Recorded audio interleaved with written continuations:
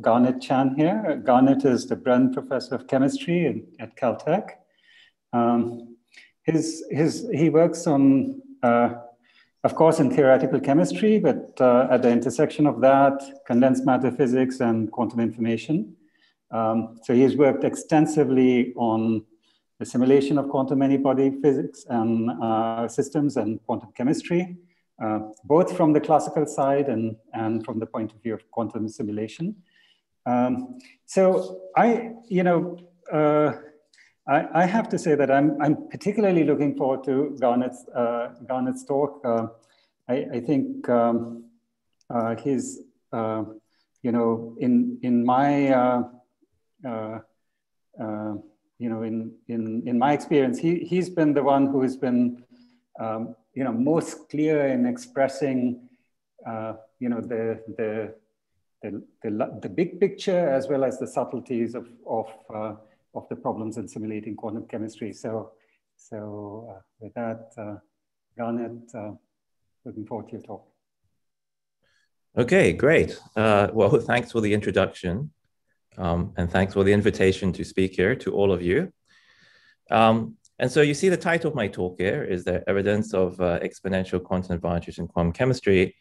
Um, and you see at the bottom a very long list of names. The content of this talk is, is mainly contained in a paper which uh, we very recently submitted.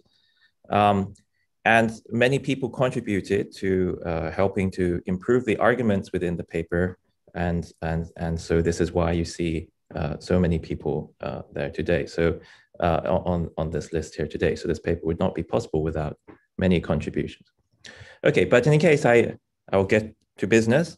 Um, and so um, we're going to be talking about the quantum simulation of uh, chemistry today. Um, and I think usually the idea that one should be using or one might use quantum devices to simulate uh, physical problems such as chemical problems uh, is usually traced back to you know a comment from Feynman, uh, which has been repeated many times, and and I, uh, I, I quote it here. You know, Feynman's comment is not especially direct, um, but uh, today one has more direct statements to the effect that quantum computers are in fact, uh, you know, very well matched to problems of uh, chemistry simulation. Um, and because of this uh, intense interest, you know, it's of course then important to really understand uh, what the advantages are uh, of simulating chemistry on quantum devices. And so that's the subject of today's talk. Okay, so to proceed, um, I, I, of course have to define quantum chemistry in a more formal way. Um, and quantum chemistry com is comprised of many different computational tasks, um, but probably the most central one, and certainly one that people uh, often talk about, this, and what is the starting point for many other simulations, is computing the ground state of a particular Hamiltonian, uh, the electronic Hamiltonian. Describes the physics of the electrons in the molecules and in the materials. And the Hamiltonian has some particular form. Uh, it contains the kinetic energy of the electrons and the uh, Coulomb interactions between them and the external field of the nuclei. Um, and we're going to be concerned with computing the ground state eigenvalue, uh, the so-called ground state energy. Now, the reason why the energy is so important is because from these energies, you can deduce many things. For example, if you take two different uh, configurations of molecules, you can subtract the energies, you can obtain the reaction energy. Um, if you work with materials and you compute the energies of different phases, you can understand the thermodynamic stability. If you compute the energy as a function of the nuclear coordinates, that gives you this thing called the potential energy surface. And this is essentially what governs reaction dynamics or the rates of reactions. And then finally, of course, if you understand the energy as a function of an external perturbation, uh, that's a starting point for uh, modeling uh, spectroscopy. So computing the ground state energy uh, is an important thing to do. Um, now, to make this something that we can analyze the complexity of, or, or talk about the complexity of in a slightly simpler way, we, I will first discretize um, the problem of computing this, um, computing this eigenvalue. And so for this, I'll introduce a single particle basis.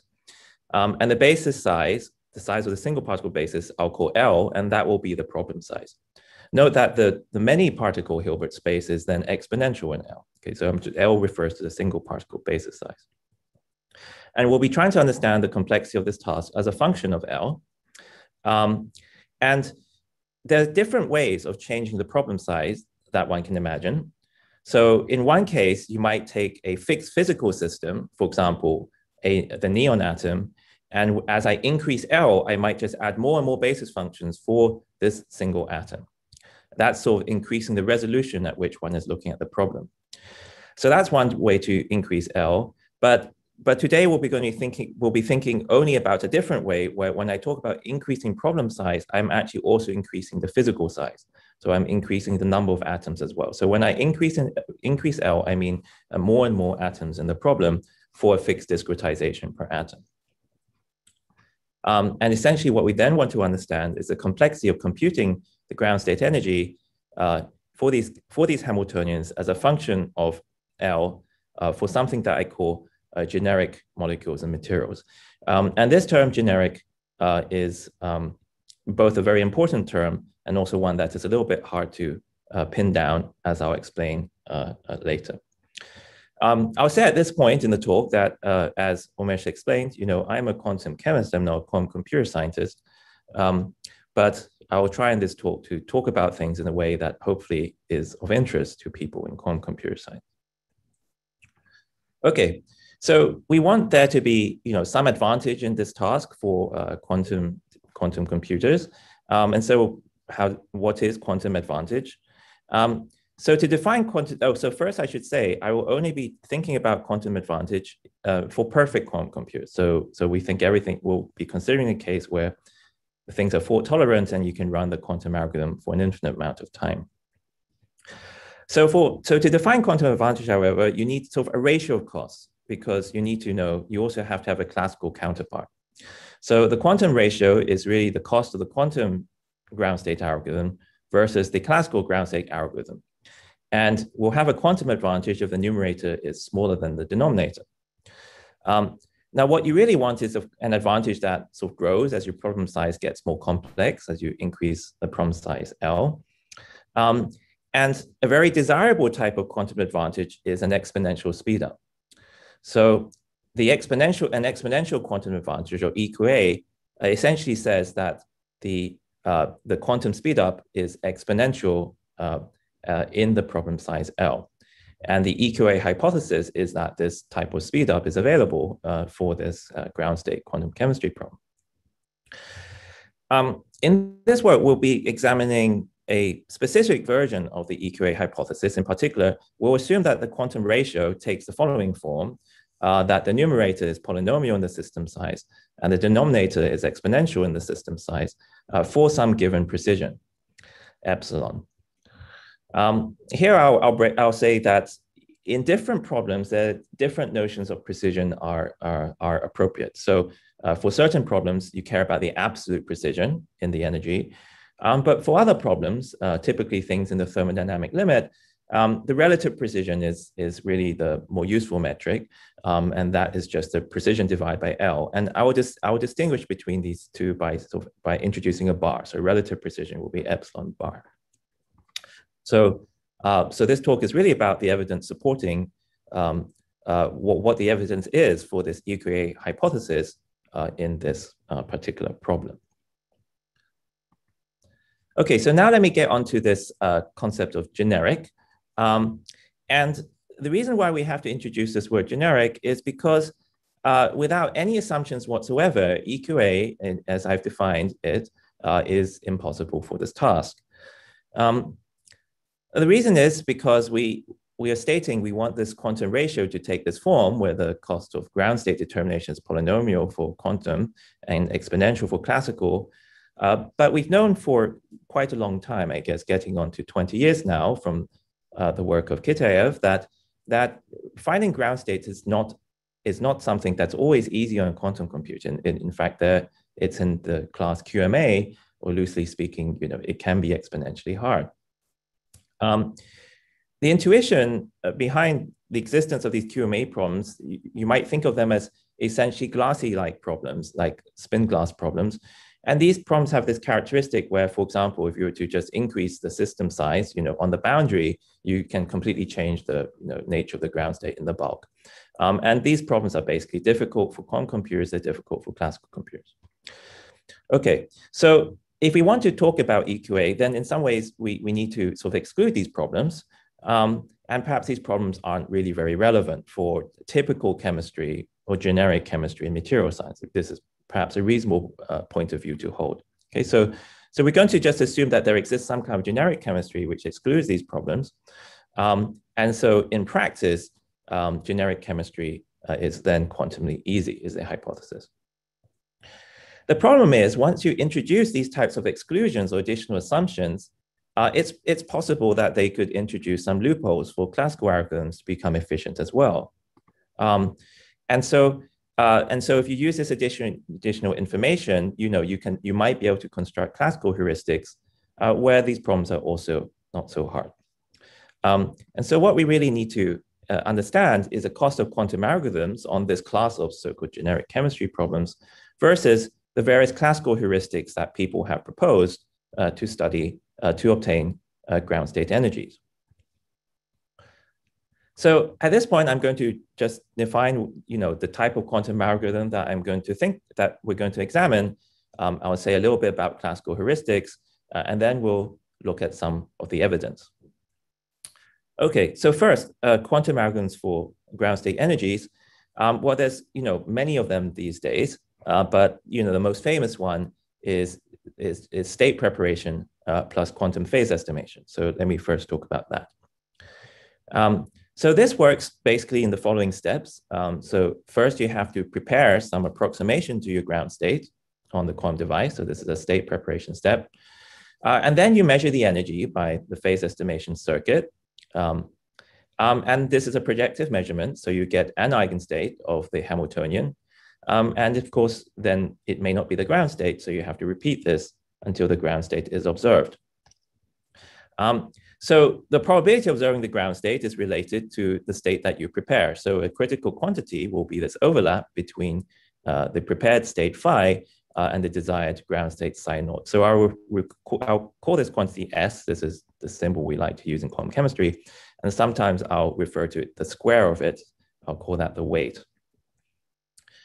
Now, the complexity of this algorithm uh, takes the following form. So you can obtain the ground state energy with some effort as polynomial in the inverse overlap, polynomial in the system size, uh, and polynomial uh, in the inverse precision. Um, at the level of this talk, this is the resolution at which I'm going to be talking about the complexity. I'll just say either if it's is it polynomial, you know, is it exponential? Um, and there's an additional advantage to leaving things in this um, less resolved form because, as it turns out, although there are other quantum algorithms for um, determining the ground state energy, uh, their complexity also takes this form. Um, and so we can roughly say that all fault tolerant quantum algorithms have costs which, uh, which look like this. Um, and for some summary of these other algorithms, you can read some of the recent papers uh, by Lin, which are very pedagogical in this uh, context. Okay, so, um, so how does state preparation plus phase estimation scale as a function of system size?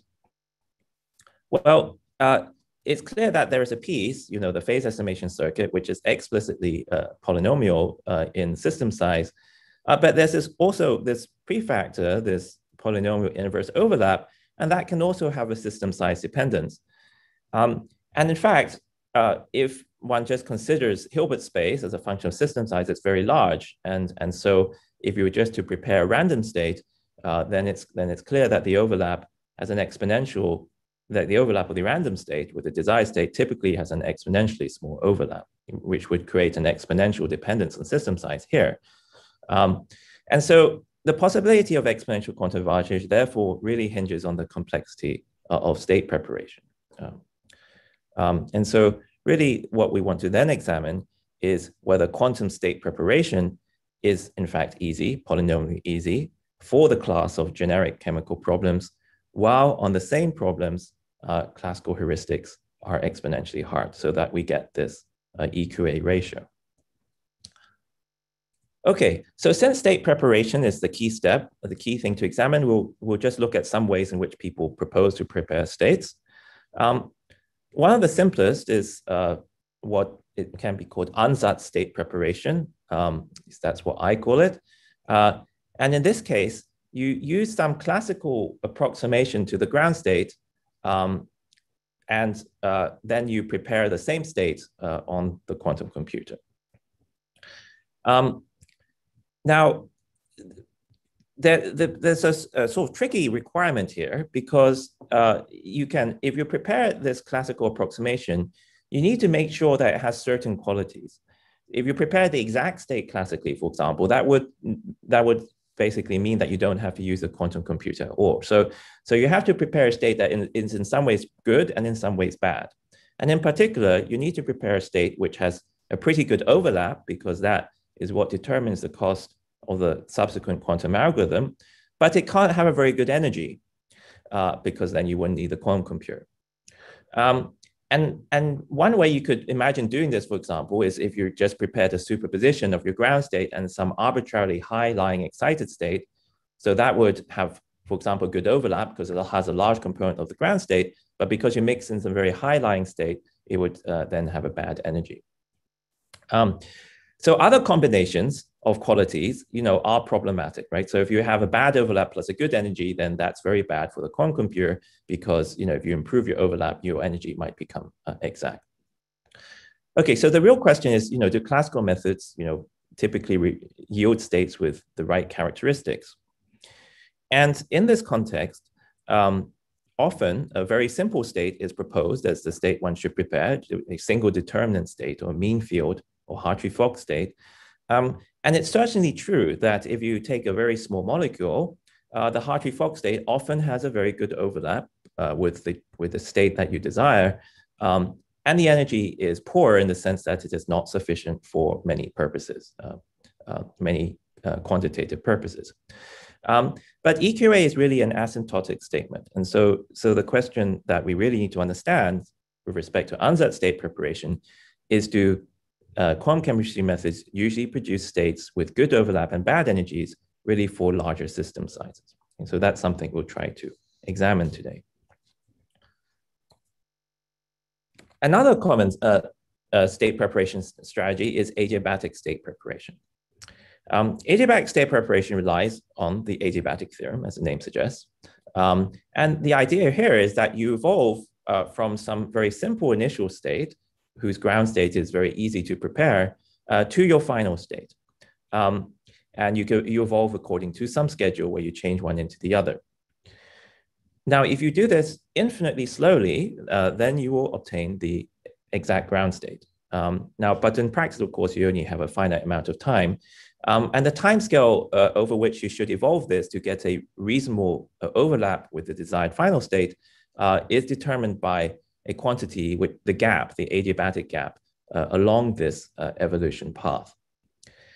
Um, now, the fact that this that the time depends on this gap uh, immediately sort of makes this uh, clearly a heuristic type procedure because you, you don't know uh, a priori, you know, uh, what the gap will be or how to construct a path where this gap is not too small. Um, and so for adiabatic state preparation to be relevant to this EQA question, then in some sense, you, you, you're assuming that it's easy to find a path where the gap uh, is not too small, where the gap is, for example, larger than inverse polynomial system size. Um, it, it's, it's clear that this is not always going to be true. Um, so, uh, for example, uh, if you have uh, a, a, material or system which has many competing ground states, you can imagine that some of the um, transitions between these, these ground states will be first order. And then, and one knows that as you go through first order transition, then typically the gap vanishes exponentially uh, uh, in system size. Um, so, so one way to diagnose whether in fact it is easy or not to find paths with this type of uh, protected gap uh, is to examine the initial state dependence of adiabatic state preparation. Um, and so if it's if your state preparation time um, depends very strongly on your initial Hamiltonian, it's very fine-tuned in that sense, uh, then essentially this is a very heuristic approach. You have to give it a lot of information to find uh, the right initial Hamiltonian. Um, and an example where this adiabatic state preparation time is known to have a very strong initial state dependence uh, is in the case of applying it to uh, unstructured search, you know, some type of like Grover search problems or search through the list. And if you do this through adiabatic computation, then you in fact know that the gap, the minimum gap in the problem uh, looks like one over the overlap of the ground state of the initial Hamiltonian with the ground state of the final Hamiltonian. In this case, this is a, a characterization of this strong initial state dependence. Um, so, so the basic uh, thing we have to understand here is, as I said, how is it easy or difficult to find good paths? And if it's very difficult, then you know this is a very heuristic method. You have to give it a lot of information, and then it becomes difficult to argue that it's uh, really uh, uh, better than classical heuristics because you might be able to use that information to improve the classical heuristic as well. So the question that we're going to try and understand uh, is how heuristic is adiabatic state preparation in generic or sort of typical quantum chemistry problems. Okay, so so that's sort of the numerator, the the uh, the various questions about the numerator of the quantum ratio that we want to understand. And now let's just talk about the denominator very briefly. So the denominator is going to be classical heuristics, um, and we know that there are many different heuristics that have been proposed, which are associated with different electronic structure problems. Um, there's a long list of names, and you can put even more on this list. Um, and very roughly speaking, one can imagine the uh, complex, the, the sort of problem space is divided into different domains and different heuristics are sort of cover different domains. Um, so a critical question to ask, of course, is, is there anywhere in the space of problems that people really care about in chemistry and material science uh, where one of these methods doesn't work and in fact no method can be found that would not require exponential cost? So that's a very, very difficult question to answer without, in some sense, studying every problem. Uh, but what we can do is perhaps just look at the problems that people typically talk about and then see if in those problems there is uh, any evidence of exponential hardness for classical methods. And, and that is something that we will uh, look at later. Um, a, a, second question, which is, is also important and which has not been studied enough, uh, is that when one uses classical heuristics, you know, one, one constructs them to have polynomial runtime, um, but of course, you don't know the error at the end, right? That's the nature of the heuristic. Um, but you can ask, you know, for some given problem, if, if there's a tunable parameter so you can, you know, improve the error, then, then if I want to design precision, then what is the cost? You know, do, does this polynomial in L, for example, become exponential in L? And, you know, surprisingly, this is something that when we use classical heuristics in, in, in chemistry simulations, we don't usually ask this question. Um, and so not much is known about it. And so this is something that we will also examine. So to summarize so far, um, the EQA, the existence of EQA it hinges on quantum state preparation being polynomially easy, uh, while classical heuristics for the same problems are exponentially hard. Um, and this is something that is quite hard to study purely theoretically with the tools of, say, just purely theoretical computer science, uh, because you know, uh, I've restricted myself to some class of problems called generic, which I didn't define very clearly. I'm going to be comparing to heuristics, which are obviously hard to analyze mathematically. Um, and so the way in which we're going to try and understand this is really through numerical simulations to produce evidence for one thing or another. Um, and it's important to state at this point that simulations, you know, they are not the same thing as proof, right? And, and many things are not clearly defined, but but the way in which I'd interpret the findings from this talk is that it produces some evidence, and at the end of it, we can weigh the evidence and decide, you know, where we would like to place our bets. Um, and that's the spirit in which uh, I'm going to be proceeding from here. Okay, so the numerical, numerical simulations will fall into two categories. The first set will be concerned with the numerator. Okay, so we'll try and understand the ease and heuristic nature of quantum state preparation.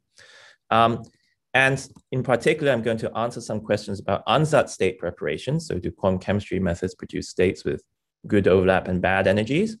Um, and is adiabatic state preparation heuristic, like a very heuristic thing, or is it sort of not very heuristic in quantum chemistry problems? Um, and uh, I will answer these questions in some simulations on some particular problem, the iron sulfur clusters of nitrogenase. And then secondly, for the denominator, which is the scaling of classical heuristics, in particular, do we see exponential uh, increase in complexity with system size? And you know, what is the accuracy dependence of classical heuristics for this, I'll look at some other systems. I'll look at some large molecules and a variety of strongly correlated models.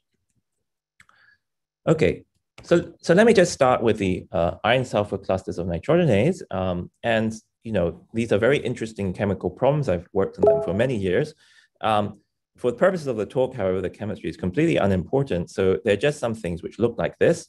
Um, and they have, uh, they come in different sizes. Um, and the number of uh, metals in these iron sulfur clusters ranges from um, two to eight. Okay, so you have small clusters with two metals, uh, and uh, the largest clusters have uh, eight metals. Um, so one can construct a variety of different representations of the Hamiltonians to describe these different systems, ranging from, let's say, a 40 qubit model to represent the smallest cluster to about 150 qubits to represent the largest cluster. So as it turns out, with today's um, sort of classical algorithms, uh, one's able to obtain reasonable approximations to ground states uh, across these systems.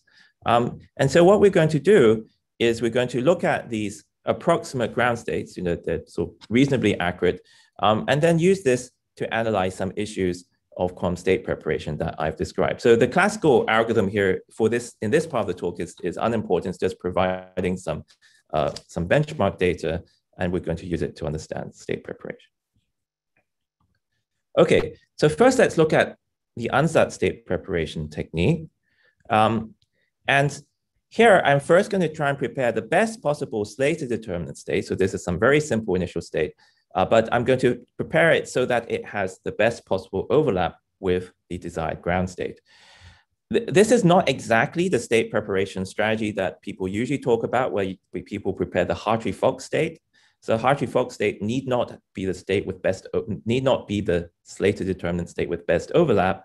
Um, and so what I'm doing here should be preparing a state that's better than the Hartree-Fock state because it uses information from the exact solution. In principle, you know, in practice, you can't actually do this, but, you know, because you don't have the exact state, but I'm just doing this to kind of present a best case scenario. Okay, so this is a plot of the, um, on the y-axis is the overlap, it's actually the overlap squared, the weight, uh, and on the x-axis is the size of the system as measured by the number of metals. Um, and um, it's a log-log plot, uh, so it's a log linear plot, um, and there's a linear relationship. Um, there's many points because there's many different flavors of these clusters. Um, but unsurprisingly, because Hilbert space is getting very big, uh, the overlap is decreasing exponentially uh, with the size of the with the size of the system, and, and it decreases quite quickly. So by the time one gets to uh, this type of cluster here, you get to quite small numbers, you know, like 10 to the minus seven. Um, and uh, and since the uh, cost of, uh, of, of the quantum algorithm has an inverse dependence on this y-axis, uh, you know, this is a large number. Okay. Um, and so this just tells you that if I prepare this kind of state that is commonly discussed, um, it doesn't really have the characteristic of, uh, I mean, you know, the energies are not very good, uh, but it doesn't have the characteristic of having a good overlap. It really has bad overlap and just gets worse and worse.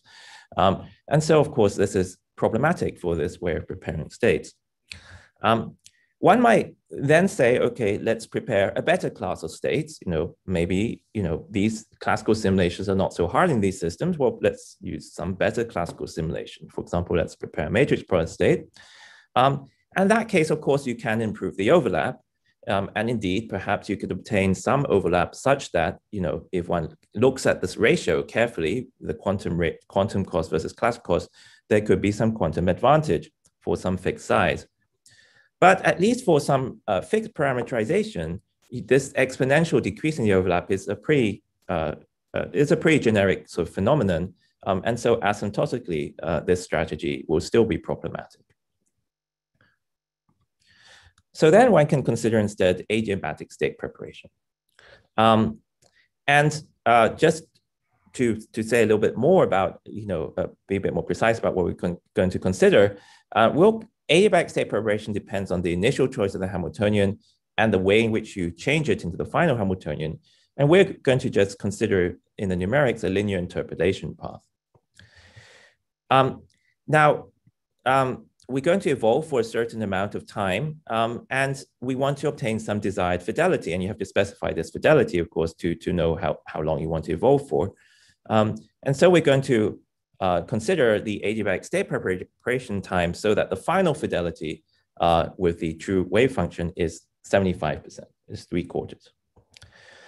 Now, the way in which you would determine this numerically is you should run a time-dependent uh, quantum simulation on, on the, you know, do this classically, one would sort of solve the time-dependent uh, uh, Schrodinger equation and, and just run this for different times, and then find the time where you get uh, where you get this 75% overlap. But as it turns out, a much simpler quantity, which is just the adiabatic estimate coming from the adiabatic theorem, is actually very accurate um, uh, in this problem to obtain this 75% uh, fidelity. So here I show the, the uh, relationship between the explicit, the time-dependent simulations of the adiabatic state preparation time to get 75% weight versus the adiabatic estimate. And the important point is that these dots here, this ratio is close to one, right? It's order one. Um, and so since it's much easier to compute this adiabatic estimate, uh, this is what we're going to use as the uh, estimate of time.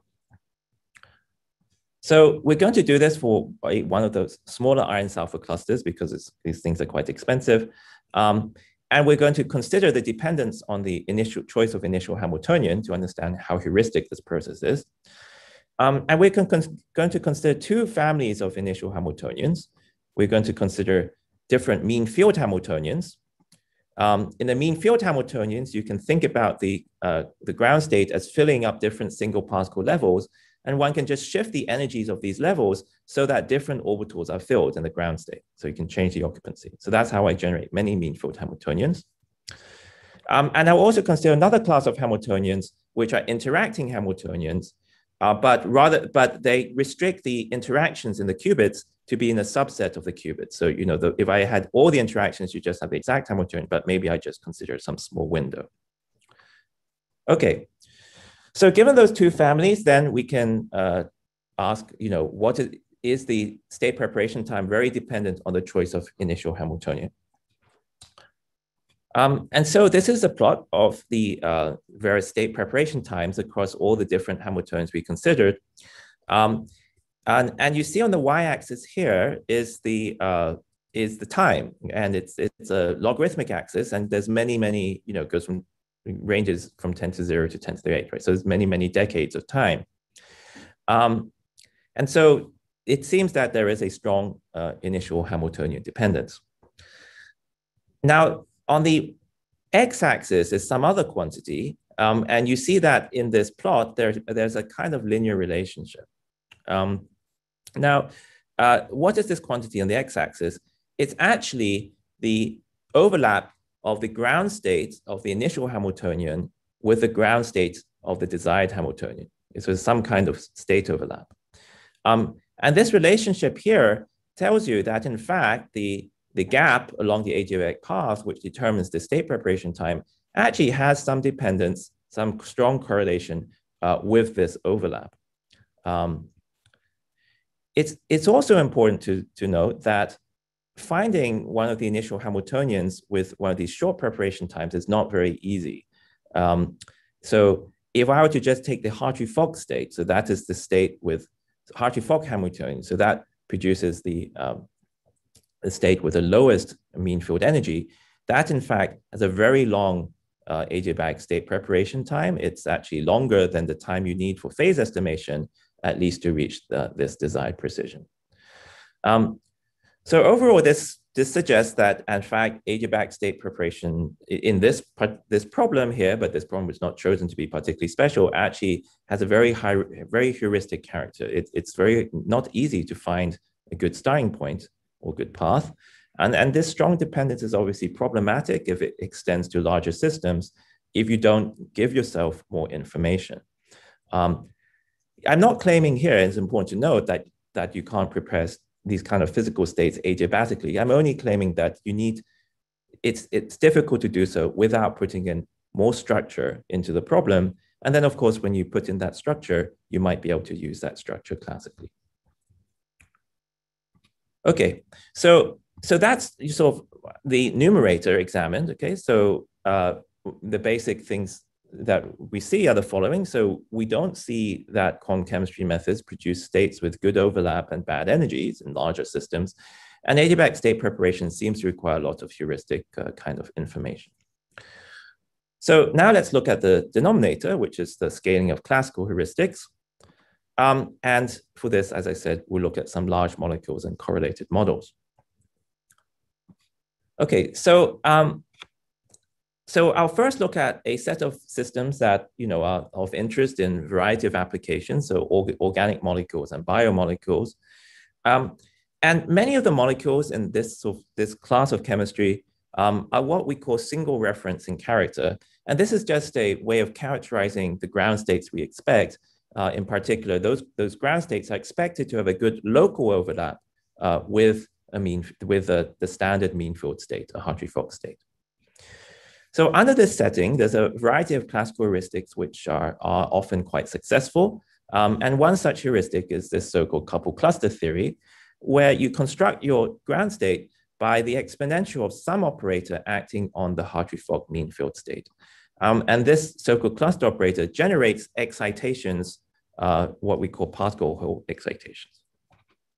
So um, so this cluster operator can generate one particle hole, two particle hole, and so on and so forth, n particle excitations. And if I truncate the level of excitation, then explicitly you obtain a, a, a, then explicitly this method is a heuristic that is polynomial cost and system size. Um, but of course, we don't know what the error is, so it's without guaranteed error. So the question then is, if I actually would require desired precision so that I can really talk uh, you know, compare the complexity to the quantum case, then what is the computational scaling? Now, as it turns out, you know, people have been doing couple cluster calculations for 50 years uh, almost. Um, and, and there's a lot of data out there. And although people don't analyze this question explicitly, in fact, all the data is available to analyze this question in the literature. And so, um, and so uh, what I did was I went to look back at some of my, my own uh, calculations with in collaboration with some people 20 years ago, Mihály Kállay and Jürgen Gauss were the other authors, and I just sort of replotted it to look at this question. Um, and so here I show a calculation on a small molecule. This is the N2 molecule, the nitrogen molecule. Um, and here's a plot of the error versus a computational cost by some metric. And it's a log-log plot. Um, and you see a linear relationship. So what this implies is that, in fact, the cost to obtain a given precision is inverse polynomial in the error for this molecule. Okay, so this is a finding for a specific molecule, but then one can try and generalize it. Um, and the specific form of the couple cluster wave function basically says that if I now take this molecule and replicate it, so I don't just have a nitrogen molecule, but I have a gas of nitrogen, many nitrogen molecules, then using the same ansatz, uh, you will obtain now a fixed relative precision across this assembly of many molecules. So this is just a mathematical property of the ansatz known as extensivity. And so then what this says is that, you know, since the algorithm is explicitly polynomial cost, um, and as the system size increases, you, you reach a polynomial inverse error in the relative precision, then this is sort of, you know, the cost for couple cluster for many N2 molecules. And then because everything is polynomial cost, you can just convert that also into absolute precision with uh, just polynomial overhead. And so this would be the scaling, the computational scaling for a gas of N2 molecules for absolute precision. And one might then conjecture that this is in fact the scaling in general for couple cluster for this so-called single reference family of problems. Okay, so, so we want to then of uh, uh, uh look at this empirically over a wider set of systems and see if this holds. And for that one, it has to introduce another heuristic so that one can actually do other, other large calculations. And I won't go into those in detail, but I'll just show some results. So, so this is couple cluster with an additional local heuristic, and, and we can look, for example, how the cost scales and see uh, what the error is.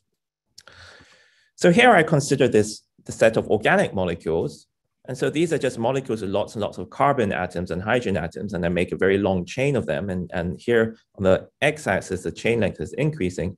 Y-axis is the computational cost, and it's explicitly polynomial cost. And so you see here, this is in fact very close to linear cost because of the local heuristic.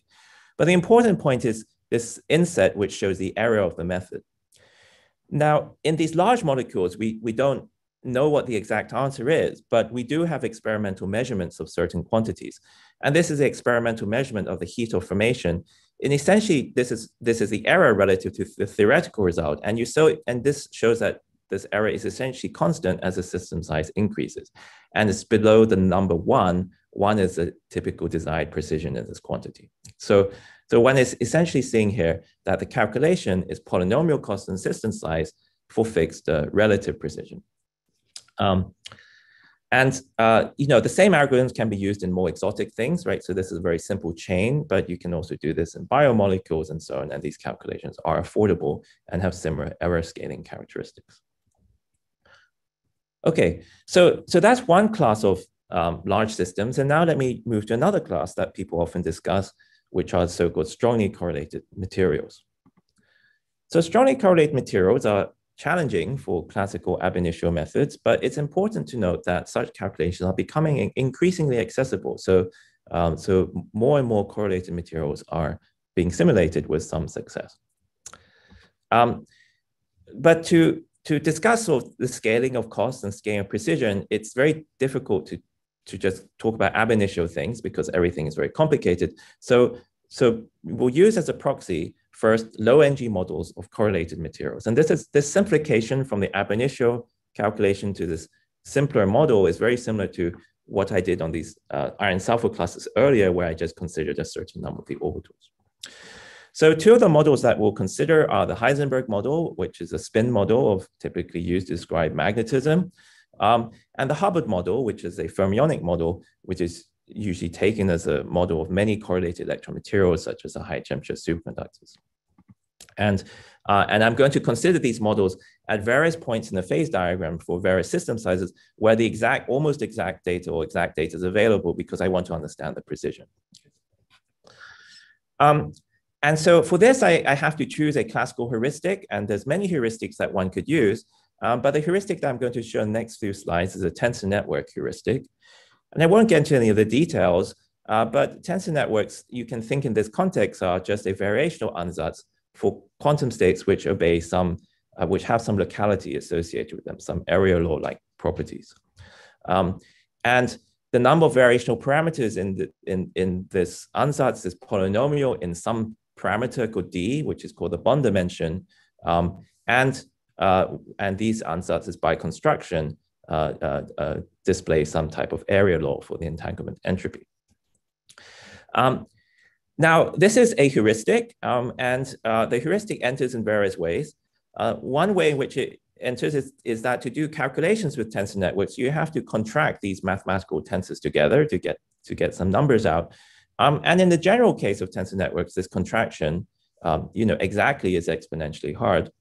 Um, but one can construct a variety of uh, approximate algorithms for the contraction. Um, and in this case, we'll use a tensor network known as PEPS, together with an approximate contraction algorithm, which is explicitly polynomial cost in the system size and polynomial cost in this vari in the number of variational parameters, although of course we don't know the error. So we're going to use a scheme, a heuristic that is polynomial cost by construction. Okay, so let's now look at this for the 3D, three-dimensional Heisenberg model. Um, and we're here we're using a three-dimensional tensor network. Um, and the left-hand plot, I'm just verifying that the cost is indeed polynomial in system size. I mean, this should be true because it's so the way it's constructed, but that's, we see in fact that indeed as a system, this is a log-log plot and you have a linear relationship. So it's a polynomial and it's very flat. In fact, this, so this, this uh, implies that it's sort of close to linear uh, in the cost gain is close to linear in system size. But more importantly is the error, because we don't know the error a priori. And on the right-hand side, I show the error, a relative error as a function of system size up to a thousand sites, and you show that the relative error is very constant. Um, so from this, we observe that the cost is polynomial in system size and close to linear in system size uh, for some, uh, at least over this range of problems, uh, for some constant uh, relative precision. Okay, so then how does the precision scale? Um, and so for this, I go to some other data. And so I, here I look at a fermionic model, a 2D Hubbard model, uh, where we have some very accurate data from a variety of other methods. Um, and these plots show that show the uh, precision as a function of the number of variational parameters with this, this parameter d here. And this is a this is in fact a log-log plot. That you see a linear relationship, um, and this is telling you that the relative precision is scaling as an inverse polynomial of the number of parameters. And since the cost of the calculation is polynomial in the number of parameters, this means that the cost overall is in, is polynomial in the inverse precision, relative precision. Okay, so the observed empirical scaling of this tensor network in these models is then something that looks polynomial in system size and polynomial uh, in the inverse relative precision. Okay, so so those are of course models, and one might then ask, well, you know, but really, you know, most of the time chemistry concerns more realistic simulations. Um, but it's important to note that models are of course derived from from the real world. Um, so if one takes a one-dimensional Hubbard model, it's a very simple model of electrons with some on-site Coulomb term and some nearest neighbor hopping. But if you just add some longer range hoppings and some longer range Coulomb, you have a representation essentially of hydrogen atoms. Um, and if you add more terms, you can represent uh, other types of systems as well. Uh, so for example, if you have the Hubbard model in two dimensions and you introduce a few more orbitals and introduce you know, a few other degrees of freedom, then you have the model of the cuprate superconductors. Um, and historically, methods that work with models essentially graduate after a number of years. Uh, sometimes it can be many years uh, from the models to ab initio calculations. For example, this happened with DMRG over some time in the 90s and with various quantum Monte Carlo methods, for example, dynamical mean field theory. And, and tensor networks of the kind that I was showing you are also undergoing this transition uh, in uh, modern times. And, and the experience is that, at least in the cases that I've described, uh, moving from models to ab initio calculations does increase the complexity. Uh, but so far, I'm not aware that there is any empirical evidence that the complexity suddenly changes uh, from these sort of polynomial-like scaling characteristics to an exponential scaling. And just an, an example of one such ab initio correlated uh, calculation with now a different heuristic, uh, quantum embedding. Um, I won't go into how embedding works in any detail. It's just some heuristic which assembles observables in some large problem from many small couple calculations that couple together uh, in smaller problems. Uh, one can do some ab initio analog of the of the uh, Heisenberg models and Hubbard models I showed just now. So these are three-dimensional ab initio calculations on hydrogen cubes and hydrogen sheets. Um, and again, one can assemble a plot which indicates that the cost scaling is polynomial in system size, uh, and the relative precision is constant as the calculation uh, size, as the problem size increases. Okay, so that brings me to pretty much the end of all the data. Uh, in the second half, basically, at least for the problems that people commonly discuss, um, you know, it's not clear if there are other problems, but for those problems, we have yet to see an exponential dependence on system size in many of the classical heuristics that people use. Um, um, sorry, uh, Garnet, there's, there's a question in the chat, maybe, if, I wonder if you can address it. It's Antonio uh, Capo, who says, um, Yes. Uh, about about this, um, you know, bounding the energy. Where yes. You, where you know the bounds from below, you can bound the error. But what about uh, when you? Do I? So this is a question about assessing error. Yeah. Okay. Well, um, if the error, if the okay, so I'm almost done. Maybe I've just got one more one one more slide, but yeah, so sure. let me just finish the talk and I will address the question. Yeah. Okay. So, um, so just to summarize, uh, we examined the evidence for the EQA hypothesis. Um, and, you know, again, I, I'll reiterate that this requires quantum state preparation to be exponentially easier than classical heuristics on the same set of problems. And for this polynomial to exponential ratio, we want classical heuristics to be exponentially hard. So what the simulations do is they raise questions about whether the state preparation is you know, truly exponentially easier. Um, and we don't observe in the class of problems that we saw exponential hardness of the classical heuristics. Um, and so I'll finish by also emphasizing that this is by no means a proof, and certainly we cannot rule out EQA in other cases. Um, but you can weigh the evidence, and at least as far as, and this is now my opinion, as far as I see, I think it's at least a prudent, uh, a prudent uh, point of view to assume that exponential quantum advantage is not generically available uh, in this task. So that's the main conclusion from this talk. Um, and there are often many questions, uh, and here are some frequently asked questions.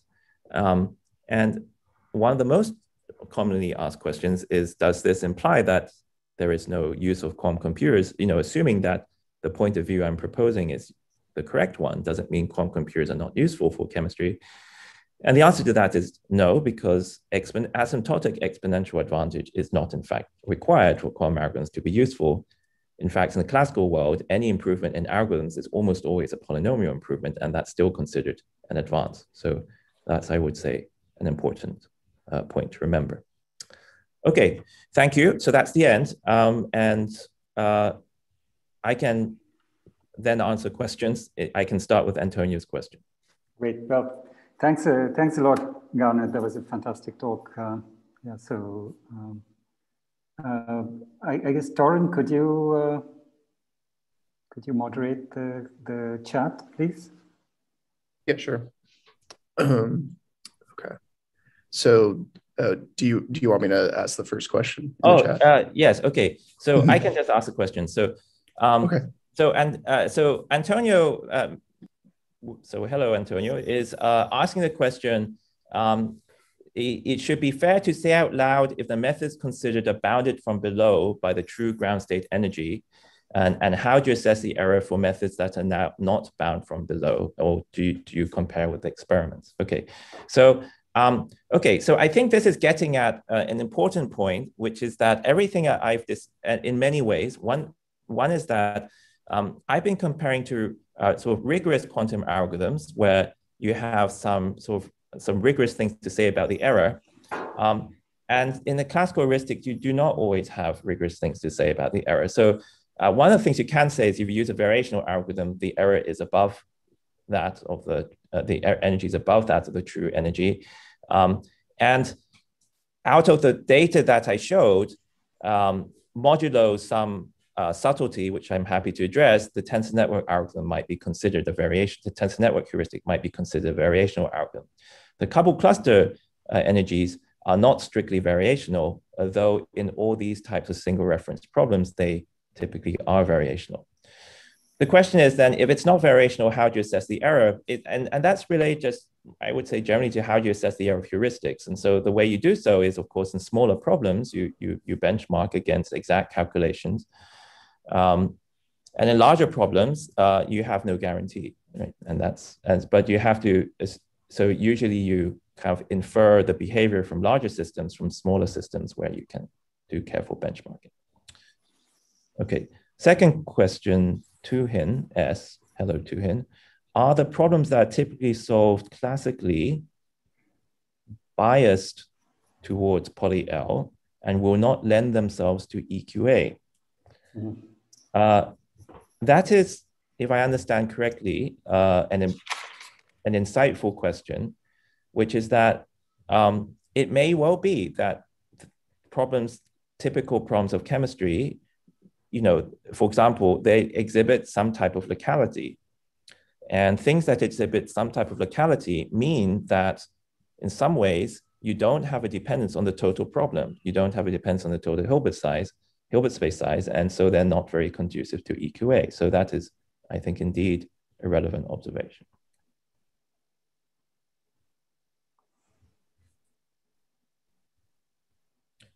Uh, let me see.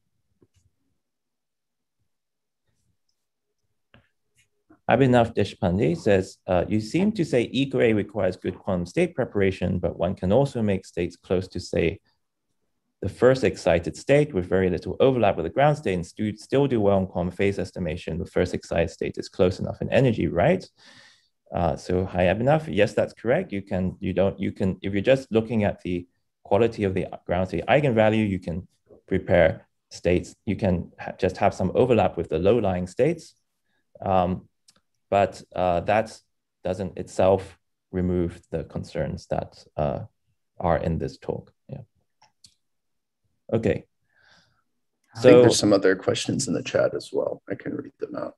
Ah, okay. Uh, yeah. So uh, one is, can you comment? So this is Bastian Brahms. Can you comment, please, on the empirical practical scaling of FCI QMC methods of Alavi, Booth, and Thom? The empirical practical scaling. Okay. So uh, so FCI QMC um, is a method which has two flavors. Uh, the first flavor is called FCI QMC by itself, right? Um, and that has an exponential scaling with system size, um, uh, but essentially all the time, um, unless you magically find a sign-free problem for it. Okay. But the uh, uh, there's another variant known as the initiator version, um, and the initiator version, the the scaling may be more mild, but uh, uh, I don't think it's been very well characterized. And my suspicion is that it's still exponential. Great. Uh, I believe Steve Steve Flammia has a has a question. Steve, do you want to just un Hello, unmute Steve. yourself? Yeah, sure. Um, hi, Garnet. Thanks for the nice talk. I appreciate the um, uh, skeptical take on quantum advantage. Um, I do think there may be a potential weakness in your argument with respect to um, the ground state overlap uh, part of your argument. Mm-hmm. So, what you're arguing about is uh, basically the um, so we use overlap as a way to prove that our algorithms work, mm-hmm. but it's not necessarily true. I mean, that, that's a sufficient condition for us to show that our algorithms work in most cases.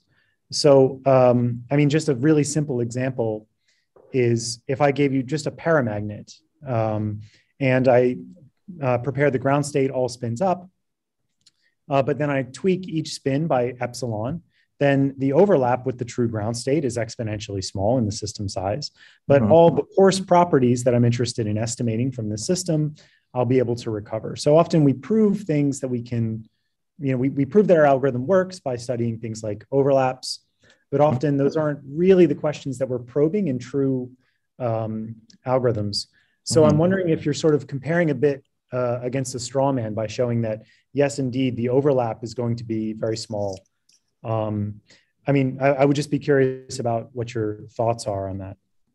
Yeah, I think you're pointing out. Um, I mean, I don't disagree with you, but I mean, uh, uh, it's, exactly the reason why classical algorithms work is precisely because of the intuition that you have stated, right? So, so in other words, because what you're saying is typically true, that you that you can act, that these there is this type of locality. So even you have good, eh, so long as you have these good local overlaps, the fact that what they multiply out to zero is not very important. I mean, that's essentially what classical heuristics use.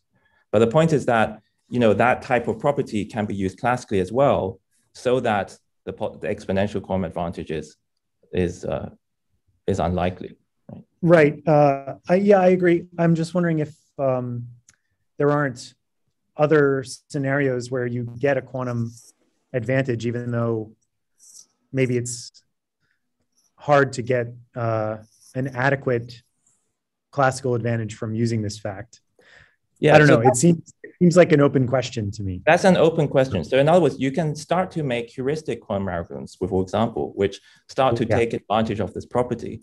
And it's quite possible that you'll have uh, quantum advantage in those cases. Um, the question though is, is we don't know what those are. I mean, we, those algorithms haven't yet been formulated, right? Those are not the ones yeah. I'm comparing against. But also there's also a question of whether you expect exponential advantage in those cases versus some right. polynomial advantage. Yeah. Okay, thanks a lot. Great. I think uh, Ike Chuang also has a question. Yeah. Thanks, Umesh. Garnet, I really enjoyed your talk and I find your argument quite convincing. And so, maybe much like Steve, I'm interested in trying to change the question. Yes. And I'm curious about your opinion. I, I suspect that there will be a different flavor of questions for which there can be quantum advantage. And my flavor of choice is decision questions. That is, what is the color of the paint? What is the yeah. smell of the chemical? And I'm curious for your opinion. Do you believe that that might lead to a better uh, possibility or probability for for quantum advantage? Um, I, so in a strict sense, I mean, yes, right, you can formulate, um, say, um, some BQP decision problem as a ground state of some Hamiltonian. And so clearly finding the finding that, you know, finding this ground state uh, shouldn't be classically easy, right? So, right. so one can formulate these things so that it's true. The question is, of course, whether those problems are the ones, you know, correspond to the questions that we ask. And I, I don't know. I mean, my, you know, my my personal opinion is that many problems may not really foreign to that type. But you know, I yes, I don't have a yeah, I don't really know the answer. Yeah. So I mean, like theoretically, yes, but in practice, I don't know. Yeah. It, it seems to me that maybe quantum chemists have gotten addicted to asking for ground state energies. And so yeah. I'm hoping to convince some more chemists to think of decision questions that would be worthy and and and interesting that are hard for them currently, but might be easy for quantum computers, particularly because algorithms, quantum algorithms often seem to uh, like to give qubit type responses, such as the singular value transform algorithm. And this is the origin for my my hope here. I see. Right. Yeah, it's very interesting. I mean, part of this reflects just my ignorance in what decision problem, like what kind of problem. You know, I think of BQP in my my my encounter with that is like quantum dynamics, and I'm sort of less familiar with what kind of interesting decision problems, you know, like are, are there in BQP. Thank you. Um, you actually sound more like a computer scientist than a chemist in your answer, so I appreciate that. I'm uh, pretending to be one just for this talk. Yeah. Uh, Sergio has a comment or question. Uh, do you do you want to ask directly, Sergio? Oh, sure. Yeah. Uh, sorry, I don't know if you can hear me. Yes, yes, loud and clear. Ah, hi, Garnet. Uh, yeah, uh, I think that you, you make you know to make the case that tensor networks and PEPS in particular can solve generic chemistry and physics in polynomial time which you know is, is an hypothesis that has been around, but I think you're making a this claim beyond an hypothesis is you know uh, conjecture, I guess now. Um, you're extrapolating from. Uh, my, my concern is about the relative error scaling with the uh, bond dimension, and I think the data is also consistent. I mean, I don't know what's the scaling, but what I, what I see is that the data is inconclusive. It's also consistent with an exponential scaling of uh, relative error with bond dimension. And furthermore, you're extrapolating from bond dimension 8 to infinity and from quasi 1D to 3D and from you know translational invariant to cases which are not translational invariant and can be closer to spin glasses. So you're doing you know like a big extrapolation with inconclusive data in my view. So I guess um you know I don't know what the, the, the truth is. I don't know if the hypothesis that you know tensor networks are polynomial is true or not, but I'm a bit skeptical about all these extrapolations. So I guess my question is if you want to comment on this, or at least I will just, you know, put it out that, I mean, there are all these extrapolations in a way. Yeah, I mean, okay. So I think this relates to um, this relate. So I, I mean, there are various statements that you made which are not technically correct, right? So, for example, there is no translational invariance in these calculations, and so on and so forth. And the plot against or against uh, exponential does not really look like a line and so on and so forth. But the, but I completely agree nonetheless with a bigger point that you're trying to make, which is that um, the uh, data is limited um, and it's limited both in the systems that are studied and it is limited in the uh, you know the size and scale and, and so on and so forth. And so this doesn't really constitute a proof. But the point is simply that it could have been, one could have obtained a very different outcome. So, for example, one could have, in fact, seen very clear evidence of exponential scaling um, with system size uh, for fixed precision. Um, so, for example, much of your question is about for the, the precise precision dependence, but for fixed precision, it's really clear that you don't see this exponential dependence. And it's not just for tensor networks. I showed this also for another class of algorithms. And I, I agree. Something else. Fixed precision, yeah. I think for fixed precision, these algorithms are going to be polynomial. I, I, I think that's true. Yeah. So, um, so the um, point is that one could, one could have seen different evidence, and so, so you one can say that this evidence is insufficient because you know that's a that's a reason it's reasonable to be skeptical in the other direction. But I think to be a strong proponent of EQ in this problems, one has to actually come up with some positive evidence that uh, that to support the case. I guess what I'm saying when you look at relative energy as a function of bond dimension, it's also consistent with exponential. It's not like you see it's polynomial. You know, it, it could be exponential if you plot it in a different way. It's also yeah. a straight line in a semi-log plot. That's well. I mean. I mean, you know, this is just not the case, right? But if you we but what is certainly true is if you look at these things here, this is a very small range, um, and one can argue about whether this is truly linear. Um, and that much, I think that is this is this is true. So the statement that this looks like poly one over d or poly one over epsilon has to be taken with a grain of salt, given that this range is small, and that is a fair fair point uh, to make. If you plot it in a semi-log scale, it looks also as a straight line. I mean, Sergio, you have sent me the plot, and I've, I mean, I, I, I've looked at it, and you know, this one looks like it, it does. It, I don't know what to say. I mean, it's very difficult without showing it. Uh, but the data is, it, you know, the data will available, and people can plot them, and they can make make a decision. I suppose. Thank you. Uh, Aram, you had a question. Hey, Garnet, this is a very thought-provoking talk, and uh, yeah, I think we all need to to think a lot more about all the things you raised. Um, but one way that we might be able to, you know, avoid hy- hypotheticals, we can talk about things that we have today are, are cold atom simulators, right, which are imperfectly controllable, and yes. they can simulate.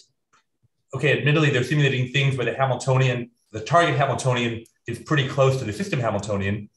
Nevertheless, yeah. they're controllable. They can tell us about the phase diagram of things like the unitary Fermi gas uh, tra- you know, charge and spin transport, um, all in regimes that we we.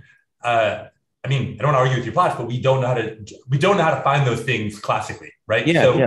so the question is, um, how does this fit your picture? Do you think that you know digital quantum computers won't be able to achieve the same thing, or maybe we could improve the classical algorithms which haven't tried hard enough? Uh, yeah. Well, that's so very interesting. So I want to I want to emphasize that the fact that there is an exponential quantum advantage doesn't mean that things can be practical classically, right? So uh, there could be an enormous polynomial barrier separating us from any from any real results, and and in my view, that's in practice the case for you know if you ask well if i'm saying you know classical arguments are so good why can't i just solve everything classically well in many cases there's an enormous polynomial barrier even if it even if it's not exponential but but so that's one point. The other thing is that cold atom simulators, in fact, already illustrate some of the um, challenges that quantum algorithms have with ground state problems. I think you may, for, for example, be aware with some experiments with, for example, Rydberg atom arrays like Lukin and so on and so forth, where, um, you know, some of the experiments are essentially preparing metastable states because the adiabatic state preparation protocol is just not going slowly enough. Um, and the numerics, you know, shows that in fact the state they prepare is not the ground state of the Hamiltonian. And so, you know, they start, you start to be able to, re, you know, experimentally examine problems of state preparation, uh, which is, which is quite interesting. But, but I mean, I think that, you know, if I had a quantum computer tomorrow or a cold atom simulator on my desk, you know, I would be using it for lots and lots of things. I'm sure it has many useful applications and many things that would not be possible classically. Uh, I have no doubt. Uh, it's just whether these separations we should really be thinking about as exponential separations or polynomial separations, which is really, I think, the question that I want to raise. Great. Um, if they have okay, hundreds so of atoms and we can't do it on a classical computer, like, yeah, I mean, I guess that's true. It could be, who could say, if it's an n to the 10th separation, it could be that too, but. Yeah, uh, right, right. Yeah. Great. Um, so um, it seems there's a there there are a lot of uh, you know it's a it's very thought provoking uh, talk. So what what we could do now is move on to the panel and then come back to any any more questions from the audience. Uh, you know towards the end of the panel. So if you could have the the, the videos pinned for the panelists. Um, okay, so uh, so I should say we have a we have a uh, really uh, you know, a great panel uh, that comes at these questions from from